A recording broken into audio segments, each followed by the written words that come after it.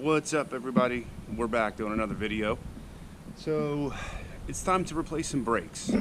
That's what we're going to be doing today. Um, I'm going to tell you I've never replaced brakes before, but I feel like I've done my research and I've watched a bunch of videos and I think we can do it. So here's what we're going to be doing. I, you know, look, the Brembo brakes that come with the car are good brakes. I like the Brembos. They actually work really well. They stop well, they perform well. But I got to tell you, the Grand Sport Brembos are so dusty. It is actually painful. I clean the car, I detail the car, the car's ceramic. I love keeping the car clean. I take it out for a 20 minute drive and I come back and the wheels are completely covered in brake dust. And so anybody that has a Grand Sport or any Corvette uh, the more recent C7s, and you have the Brembos, doesn't matter if it's a Stingray with a Z51 package or a Z06, you know that the Brembos are extremely dusty. So what we're going to be doing, we are going to be upgrading to Hawk Performance. I got the Performance Ceramics, and um, I'm actually really excited about these because these are very, very good brakes. I've done my research, and uh, these are awesome and they're going to do well. You know, they might not be, and I don't know, they may be performing at the same exact level, but even if they're not, they're even if they're just a smidge off, just the fact that I'm going to have that less less brake dust, it's going to mean that this was worth it because, you know, I'm not taking the car on the track. I just enjoy it on the weekends, and uh, yeah, I drive it pretty hard sometimes. I have fun with it, but you know, I'm not spending all day at the track. So for me, if I can make my life easier by having less brake dust, then I'm all for it. So let me show you the ones I got here. I got, okay, the um, rear brakes are the HB 727Z.592 and the front brakes are the HB 646Z.605 and these are the performance performance ceramic brakes. Um, so very, very excited to put these in. I'll definitely keep you guys posted on uh, how they perform after I put them in. But, um, you know, I'm all set up. I'm going to be getting things going here. I'm just going to take it one step at a time. Okay, I'm going to I'm going to literally just jack up one wheel at a time. Probably going to take me a couple hours to do. But, you know, what the hell? I got the time. It's really not that difficult. I'll kind of show you guys the steps um, to, to doing it and we'll go through it together. And after that, you know, I gotta, you know, take it out on the road and uh, see how it performs. So, take you along for the ride. All right, so I got the car jacked up. Now, when you, all right, so when you're jacking up a Corvette C7, you got to make sure that you use a low profile jack. I got a three ton jack here. You got to also make sure you find the right jack point. I'm going to show that to you guys right here. Hopefully you can see this. But right here I have a puck. And I would definitely recommend buying this puck. It sits right on the jack pad. Okay, and then you can jack it up right at this point. It goes right in. It you turn it, it locks into place, and then you use this jack and it'll pop it right up. And so you can see that we've got we've got enough clearance to take the wheel off and get going.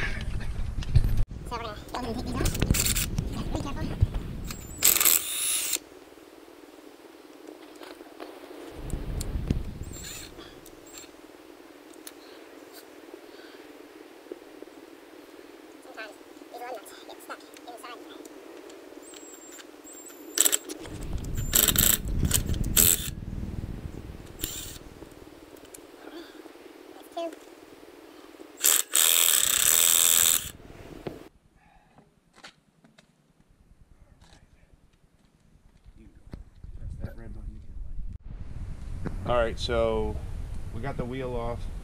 Now we just need to take out a few pins, two pins and one basically a bolt. And that's it. So let me show you. So let me see, I don't know if that's uh, too dark for you guys to see, but this pin right here is going to come out. This pin right here is going to come out. And this bolt is going to come out, okay, which is going to then release this bracket. And it's just as simple as that. Now this is a 13 millimeter back here. So all you need is a simple socket wrench. Come back here. We're going to take this guy off and then we're going to tap these pins out and then I'll show you where we're at. Alright, so I just wanted to show you guys that to take these uh, pins out right here and right here, um, I'm going to use this punch, but it's hollow uh, on the end. Hopefully, hopefully you can see that. I'm not sure that's going to come into focus there, but the tip of this is a little hollowed out and that's going to allow me just to kind of line it right up and then tap this out. Uh, but as you can see, this has already got um, some damage on it. I'm going to try to clean this up, but you know, there's some missing paint here and some missing paint here. Uh, I guess that's from road debris or driving or rocks or what have you. Um, probably from the previous owner or just uh, wear and tear. But the front looks pretty good and this inside piece looks pretty good. Alright, so once you get to this point and you've got your two pins and you got this bolt taken out, taken off, it should just come right out. You just might have to press, you gotta press it a little bit. Alright, but there you go. So you can see still plenty of pad left on these guys. But um, there we go, Mr. Dust. One out, and then we're going to take this off. So just press them back a little bit. Press them back, compress those calipers. You got three calipers, one on each side, three on each side rather.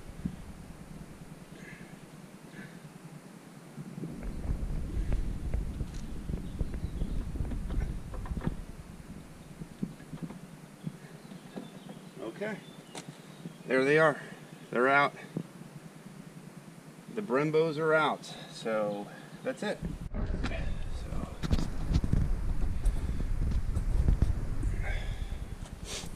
All right, so we got the brakes out. Now we're gonna go ahead and put the brakes in, the new brakes. These Hawks, or Hawk Performance, looking good. I like them. So we're gonna put a little bit of grease on here at the very top on each ends. And then I put a little grease here, not too much, nothing crazy, just a little bit. And that's where the three pistons are going to go. And then uh, we're going to go ahead and slide them in and see if they go right in or maybe they require a little bit of finesse. So let's, uh, let's find out.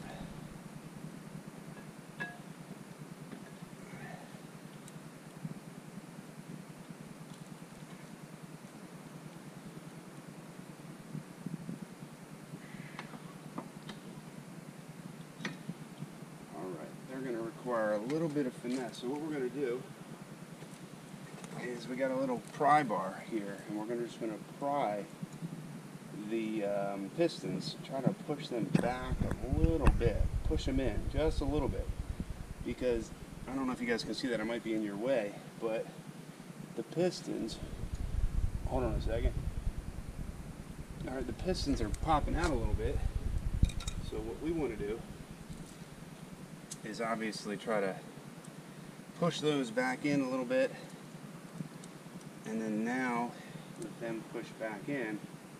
Let's see if that helps. Ah much easier much easier. That slides right in. Okay. So let's go ahead and do the same thing on the other side. All right guys so um, so for this I had a little uh, I had a little I guess difficulty getting this brake in but the bottom line is it was my error. One of the pistons, the very, very bottom piston, was still pushed out a little bit. And I just needed to come in with my uh, pry bar, just push that piston in gently, and then it just slides in with no problem. So then, again, put the bolt back in. So just doing it in reverse, putting the bolt back in. Uh, you tighten this down to tighten this down to about 22, torque it to, to 22 pounds. Put a little Loctite on this, And then, you know, you just line up your bracket, put the bottom pin in, put a little tension, put the top bracket in, and then you're going to see your pin sticking out here. I just have like a nice soft hammer here. Just go ahead and tap this in.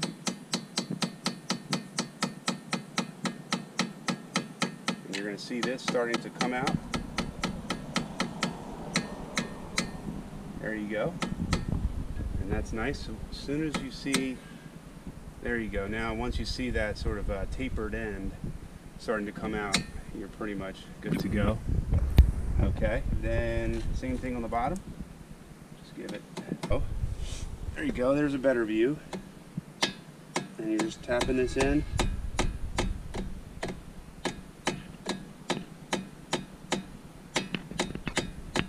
You can see this starting to come out.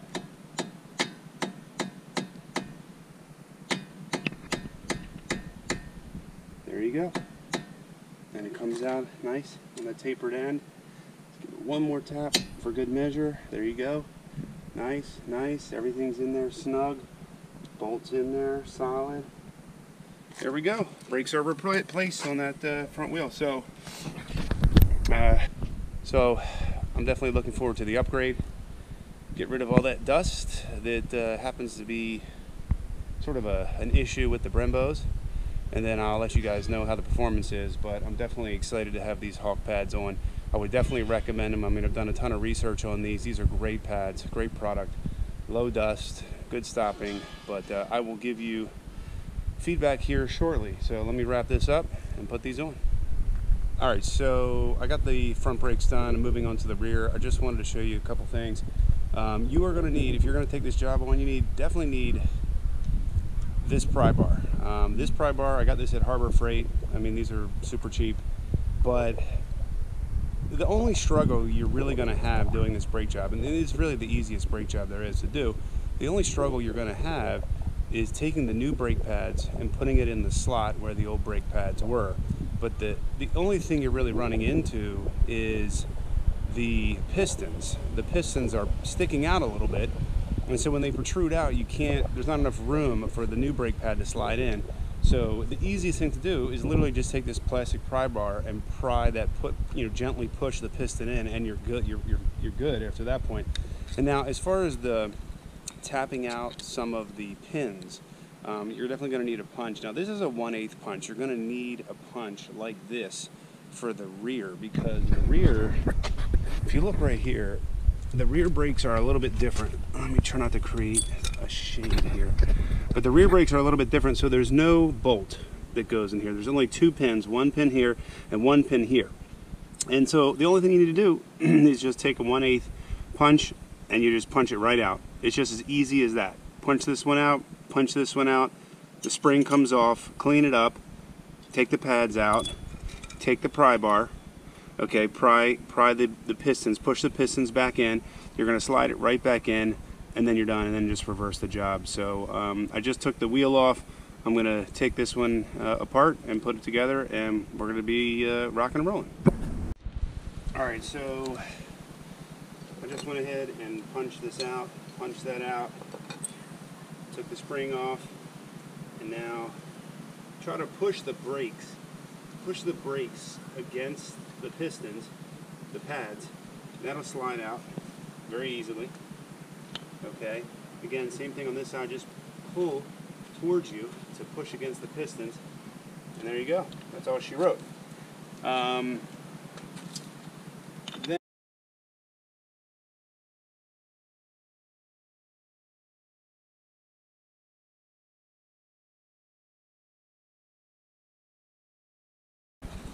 all right. So we're just going to take a little bit of this grease here.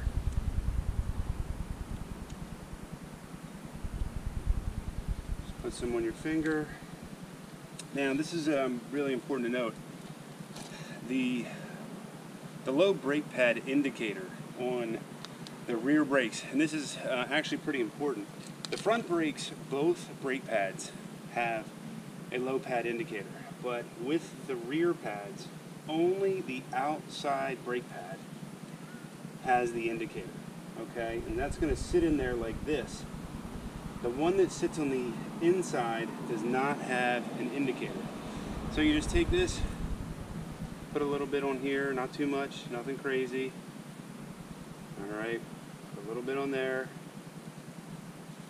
nothing crazy. Okay, just put a little bit there.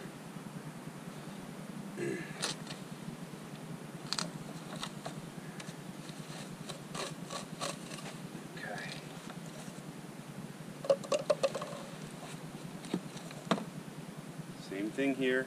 Just put a little bit on there. A little bit on here. Alright, now this grease, by the way, this comes with the Hawk package. So the, everything you know comes in here that you need. The brakes and the grease all comes in here. It's good to go. And you know, after I put the brakes on, then they actually have instructions on how to burnish in the brakes, which is actually very important. Um, burnishing the brakes is where you basically mat the brake pads to the rotors, and that's a very important step. So, all right, so this this is our outside piece. So let's see if this guy slides in there. Boom, nice and easy. This is going to be our inside brake. Again, no indicator warning uh, on this. Slide that. Let's see if that slides in there. All right, so this one is giving us a little bit of static. I can definitely feel that it's hitting the caliper. So what we're going to do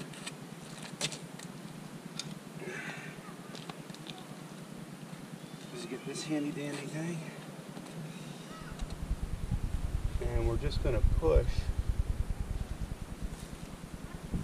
just going to gently push.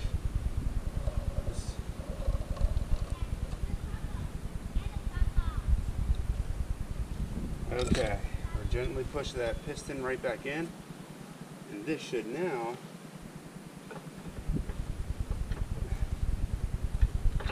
Nope, still running into a little bit of an issue there.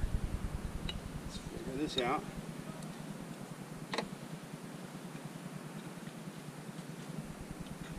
Alright, let's try it again.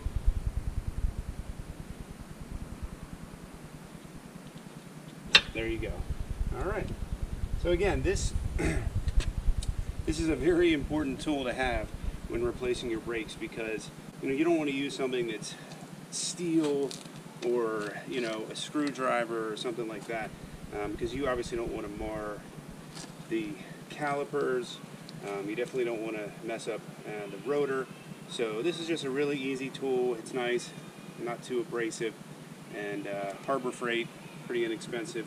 Definitely recommend that. So all right, so now I'm just going to clean up the pin and the springs, and we're going to throw it right back on. Cleaned up, you're going to put these two pins and the spring back in. Again, it's a pretty straightforward process. Just going to come back here, line it up.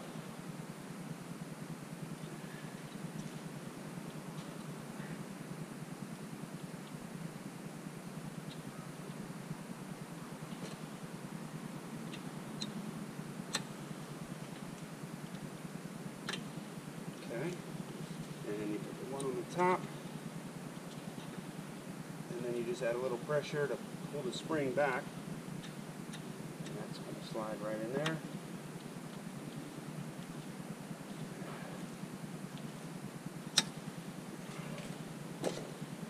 All right, now you just got to tap this in. Now it's a little tight, a little tight back there, but it's not too bad. And again, I would recommend using a hammer with a soft top. You don't want to damage the uh, caliper, of course. So, but before you start tapping, you do want to make sure that the pins are aligned properly. And then once they are, you just give it a little tap.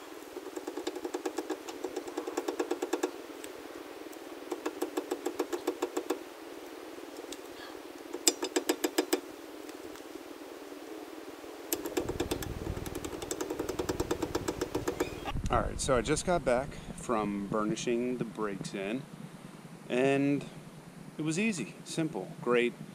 They stopped great. I mean, honestly, I- for me, there's no discernible difference at all between the Brembos that it came with and the Hawk Performance. brakes that I just put on. So I can tell you that that's the first time I've ever put brakes on a car. It took me two and a half hours. If you knew what you were doing and you were just confident, you could definitely roll with it in probably an hour and a half. But I mean, look, I had one jack. I jacked up each tire one at a time. Didn't even use jack stands, just put it up one tire at a time. Did the whole job in two and a half hours. It was easy, and I would highly, highly recommend the Hawk Performance brakes. Uh, definitely a big shout out to, to Hawk. It's a great product, and uh, you know, I look, I drove around, just got back from about a 30, 45 minute drive, and the performance, honestly, there was absolutely no discernible difference. Now, you know, if you took them out on a track and you drove around for two hours, maybe there'd be a difference. I don't really know, but to me, I'm not taking them out on a track, so you know, for me, just having some fun on the weekends and driving it, you know, pretty hard, uh, just in some back roads, they're going to work perfectly fine for me. So definitely recommend Hawk Performance brake pads, and uh, that's all I got. I'll see you guys next time.